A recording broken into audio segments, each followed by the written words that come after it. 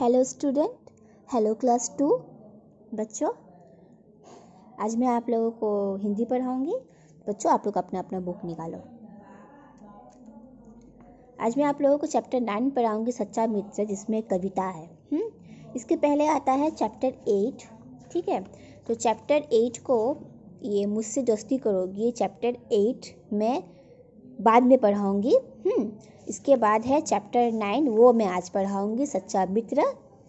तो ये आपका कविता है, इस कविता को चलो बच्चों हम लोग पढ़ते हैं। मैं आज का डेट दूँ, आज का डेट है थ्री आज तो बच्चा राखी है आज आप लोगों का। आप लोग घर में राखी अच्छे से सेलिब्रेट करोगे ओके और राखी सेलिब्रेट करोगे अच्छे से अच्छे से अपने अपने घर पे रहोगे ओके ओके बच्चों, आज का मैं डेट दे दी। हम्म? आज मैं पढ़ाऊँगी सच्चा सच्चे मित्र चैप्टर नाइन सच्चे मित्र पेज नंबर सिक्सटी फाइव कविता के बारे में, मानव तेज़ी से वनों को काट रहा है। ऐसे में न जाने कितने ही पशु पंछियों के घर उजड़ जाते हैं। इस कविता में पंछी हमसे कुछ पूछ रहे हैं कि वो अपना घोंसला कहाँ बनाए। साथ ही हमें सिखा रहे हैं कि पेड़ हमारे सच्चे मित्र हैं, उन्हें मत काटो। तो यहाँ पर बच्चों हम यह पढ़ेंगे कि पेड़ को हमें नहीं काटना चाहिए, इसमें पंछी हम लोगों को सिखा रहा है। साथ ही हमें सिखा रहे हैं कि पेड़ हमारे सच्चे मित्र भी हैं। ठीक है? चलो बच्चों पढ़ते हैं।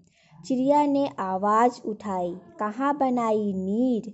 रोज पेड़ काटते जाते, बढ़ती जाती भीड़। चिड़िया आवाज़ उठा रहे हैं हम हम मानव को कि कि कहाँ बनाए हम अपने रहने की जगह? क्योंकि रोज़ पेड़ तो आप लोग काटते जा रहे हो और बढ़ती जा रही है हमारी भीड़। रोक कुल्हारी बात हमारी, सुनो जरा कुछ खास। पेड़ ना होंगे थी तो फिर कैसे हम तू लेंगे सास? ये जब, ये जो आदमी कुल्हाड़ी लेकर कार, पेड़ को काटने आया या पेड़ काट रहा था तो चिड़िया आकर इसे कहती है कि कुल्हाड़ी रोक कुल्हारी बात हमारी पहले सुनो कुछ खास। पेड़ न काटो तुम, अगर पेड़ तुम काट दोगे तो हम तुम कैसे लेंगे सांस?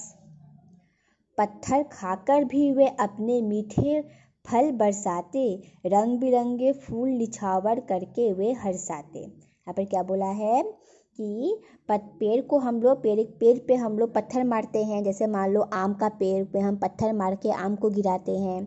अमरूद का पेड़ पे पत्थर मार के हम अमरूद गिराते हैं तो वही यहाँ पर चिड़िया कह रही है कि, चिड़िया कह रही है हम मानव को कि पत्थर खाकर भी हम, मीठे फल को हम फेंकते हैं, इससे फल नीचे गिर, देखो पत्थर मारने से फल नीचे गिरा हुआ है और रंग बिरंगी जो फूल है, वो वो मतलब निछावर करते हैं मतलब देकर रंग बिरंगे फूल देते हैं, पत्ते हमें रंग बिरंगे फूल देकर हमें क्या करते हैं? खुश देते हैं।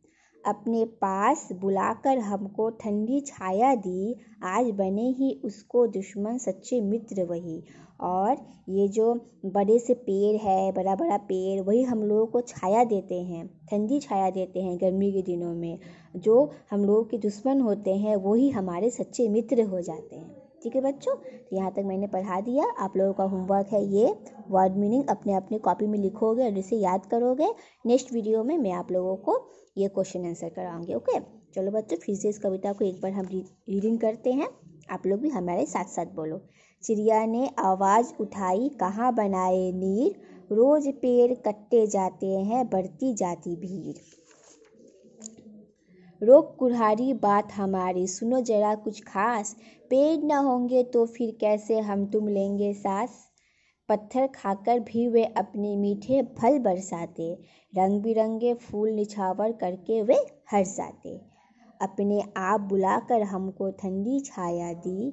आज बने हो उसके दुश्मन, सच्चे मित्र वही। ओके बच्चों, इस पोयम को आप लोग अपने अपने घर में लर्न याद करोगे और इस कठिन शब्दों का अर्थ आप लोग पूरा लिखोगे, सभी से निवेदन है कि आप लोग अपना अपना होमवर्क करके मुझे मेरे व्हाट्सएप पे सेंड करोगे और इसे याद करोगे। ओके बच्चों? Bye thank you and happy Rakshabandhan आप सभी को। धन्यवाद।